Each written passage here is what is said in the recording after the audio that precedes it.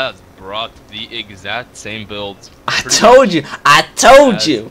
And he actually got one unit of matchlocks this time. He's got a matchlock warrior monks staff there at the front. Again, he's brought Nodachi samurai. But oh, look at this. He's brought a Tetsubuto hero. This is very interesting, but uh, he's, he's dubbed them Pikachu. Pika pika. Pika Pika. But uh, they have no upgrades at all. His light cavalry, he's brought light cavalry, Yari Cav, and he also has uh, Naginata attendants as his spear contingent. And You know he played Napoleon when he names his uh, Yari Kevri Ulans. Aha. Oh, look at this. We don't see the, the armies are very similar, but um, again, using the two lone sword Eshigarus at the front there, and then he's gonna support with that Nodachi.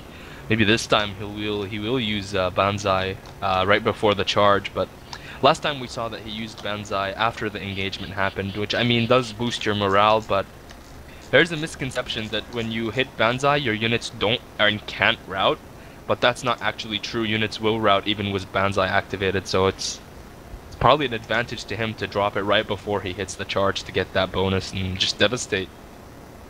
Yep, does that up.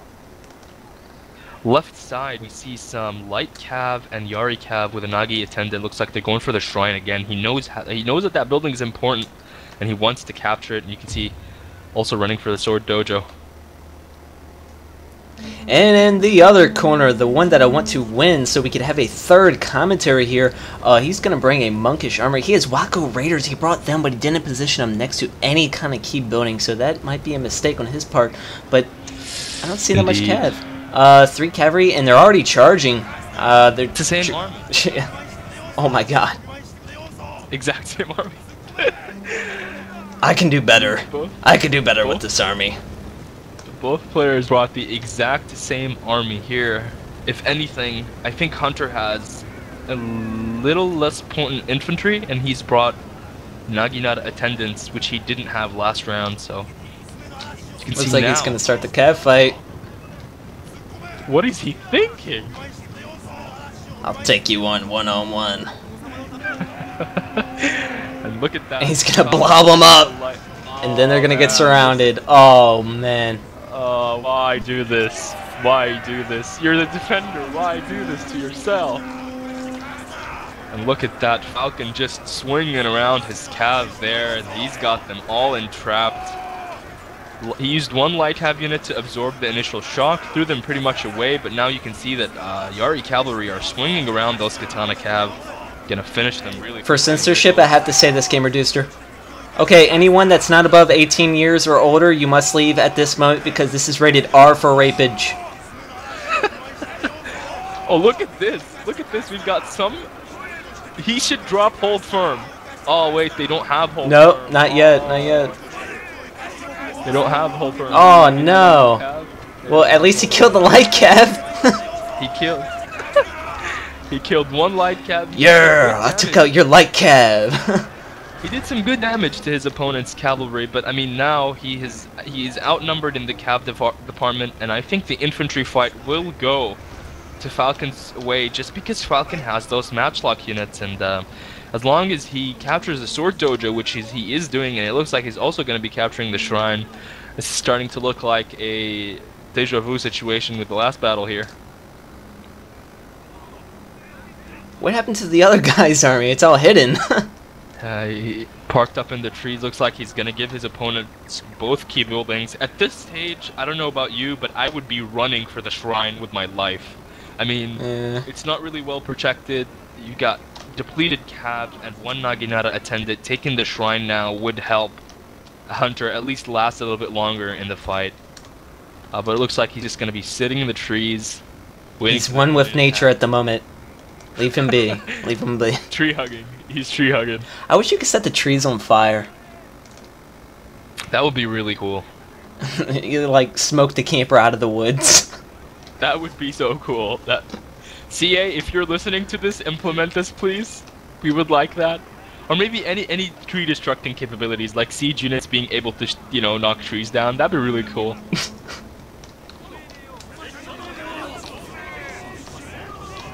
Well, now he's going to be marching to the forest, and that is going to reveal a few units. I guess he's going to back out. He might go for the shrine. You never know. He might just say, okay, uh, definitely not going to be going forward against the units that are already high on uh, melee stats with the Sword Dojo. So I might just move back, go to the shrine. Uh, look at those numbers. He's got a Tetsubodo, he's got those lone swords, and then he's finishing it off with an Odachi Samurai. What a potent rush force this is. It's like your favorite word. Yeah. Potent. I don't know how potent. I don't know how he's gonna.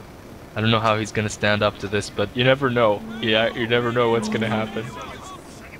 Yeah, his matchlocks. Actually, he might not even attack at all. He might just try and uh, flush him out with those matchlocks. Use his Naginata Sending the attendants to reveal them. yep. Here we go. Frontal charge. Hunter just falling in. He's gonna. Oh, boy. Well, if he does catch him in the forest, that might reduce the uh, the volley fire from the matchlock. So I can see what he's trying to do, I guess. But I mean, still. Mhm. So he is committing his uh, sword infantry, and looks like uh, Falcon is just gonna wait it out here. Let those Katana Sams get pinned on the Naginatas, and he is sending his Nodachi Samurai around the flank. Again, he's committing without hitting Banzai.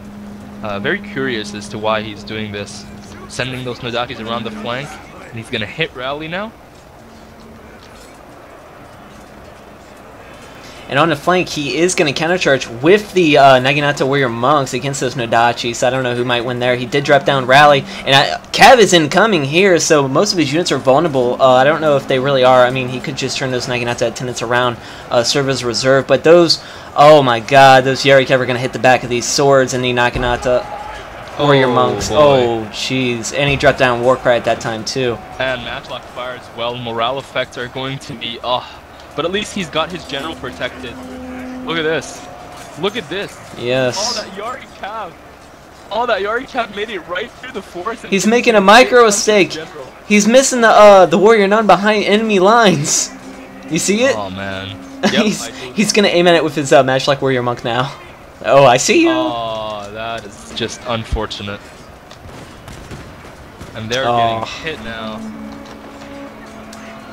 Girl power. They're rushing to their death. Oh, look at all the units wavering now. Yeah, I think he just killed his general or something. That is It is GG.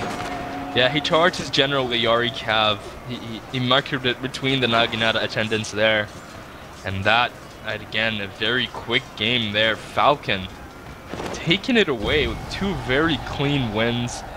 Hard luck to Hunter. I mean, I, I sort of wanted him to win the second round there, as you said, so we can get a third one, but uh, Most matches have have been guys. like that, so that is unfortunate.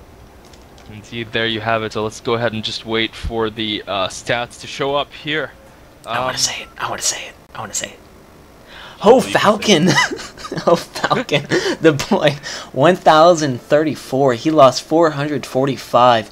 Enemy killed. He killed 690. Hunter deployed 820. And he uh, lost 690. He killed 433. That is I still like his Yet again, avatar. Hunter taking a lot of casualties there uh, in both battles. So, uh, what comments would you have about these two sets of battles? What do you think happened here? Um, lack of variety of builds there. I mean, they both use the same builds. I don't know what they might expect by using the same build twice.